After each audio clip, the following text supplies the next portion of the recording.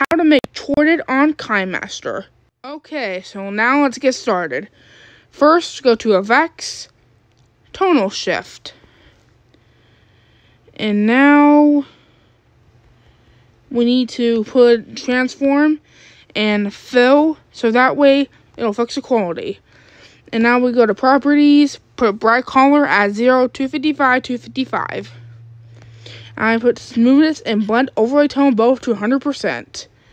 And now we put um put the first um overlay tone at 00255 and also put the blend overlay tone at 00255 as well.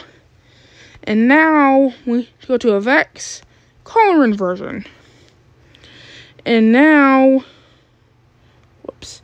And now and now let's fix, put on transform fill and to fix the quality.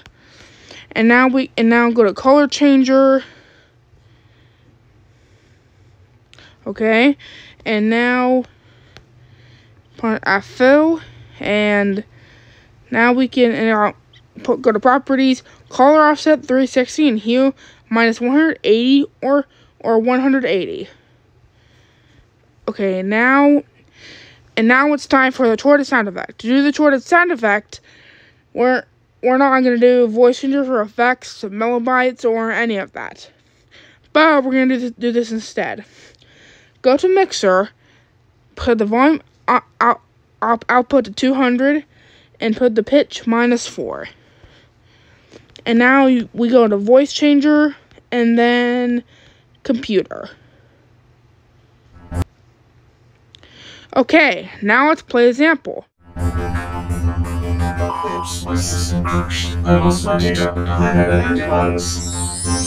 Antivirus. Is not enough. You need the antivirus software. Then beyond antivirus, Protectant. Well, guys, that's it. Make sure to like, comment, I mean, no comment, and hit that notification bell. Goodbye.